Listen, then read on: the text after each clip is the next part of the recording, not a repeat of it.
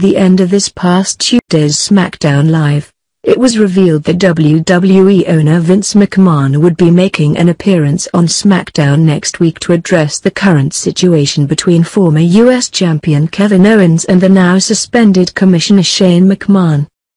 Tensions have been rising for the last several months between Shane McMahon and Kevin Owens. Owens believes Shane is responsible for him losing the United States Championship to AJ Styles and that he has a personal vendetta against him. Shane has tried to remain as neutral as he can possibly be as SmackDown Live Commissioner but this week Kevin Owens crossed a line that was too much for Shane, telling Shane that his family, especially his kids would have been better off if he hadn't survived his recent helicopter crash. Shane brutally attacked Owens, having to be dragged away by security and Daniel Bryan who later confronted Shane in the ring following a phone call from the chairman of the board Vince McMahon who instructed Daniel Bryan to indefinitely suspend his son after Owens threatened to sue every member of the McMahon family. SmackDown Live is due to take place in Las Vegas next week and WWE posted the following on WWE.com about Vince McMahon's imminent return to the blue brand. The animosity between Kevin Owens and Shane McMahon has reached its boiling point, and only one person can perhaps put an end to it, Mr. McMahon. The WWE chairman and CEO will be at Sin City SmackDown next week to address the bad blood between his son and KO, which boiled over Tuesday night on SmackDown Live after Shane attempted to stop Owens from again making himself referee for a match, KO crossed the line by insulting Shane's family.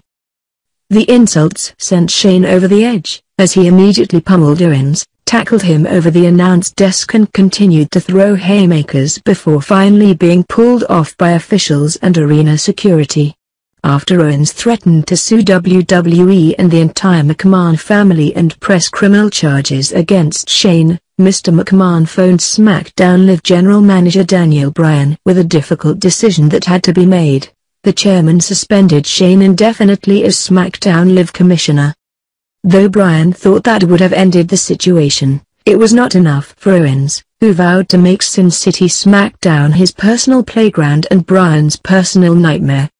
KO said there was nothing Bryan could do about it, to which Bryan agreed but quickly notified Owens of Mr. McMahon's intentions for next week.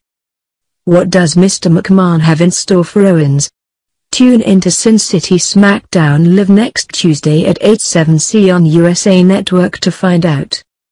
The next SmackDown Live PPV takes place at Hell in a Cell on October 8 in Detroit.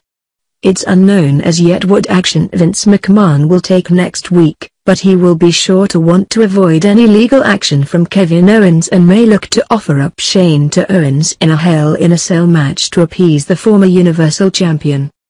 Shane was visibly upset at the prospect of losing his job as SmackDown Live Commissioner and although he clearly regretted his actions, he would no doubt love a chance to once again get his hands on the man that has antagonized him for months.